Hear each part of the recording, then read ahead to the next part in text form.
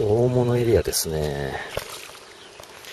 えー、っとね、ちょっと、藻が増えたんじゃないかなと思いますね。結構ね、藻がつくんですよね。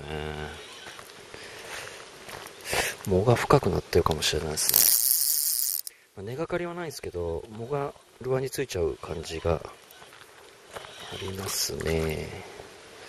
なんだろう。水の量がなんか、水の量っていうか入ってくる水の量が調節してんのかな？今波動の1.7ですね。はい。はい。大物エリアなんですけど、あまり大物じゃないっすね。はい。失礼いたしました。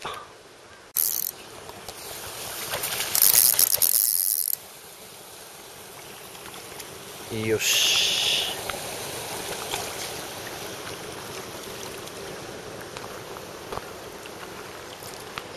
これはでかいっすね。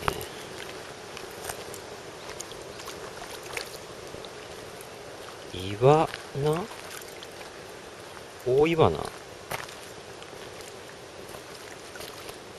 大岩なかなって感じですかね。もうなんか、ルアーにあの、アタックしてきましたね。産卵期なんですかね。もものすごい勢いでルアーにぶつかってきましたね。ああ、だからちょっと靴横になっちゃってるんですね。はい。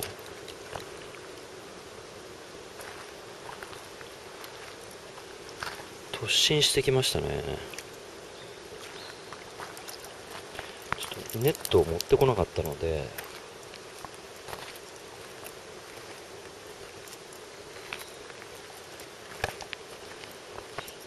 ちょっとおもろい系はあれですね。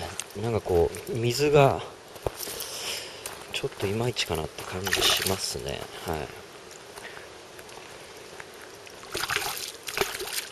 魚産卵期入ったんですかね。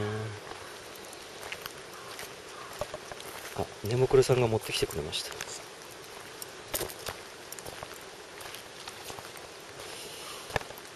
なんかちょっと魚がいるポイントが違うみたいで、藻がなんか深くなっちゃってて、ちょっときついっすね。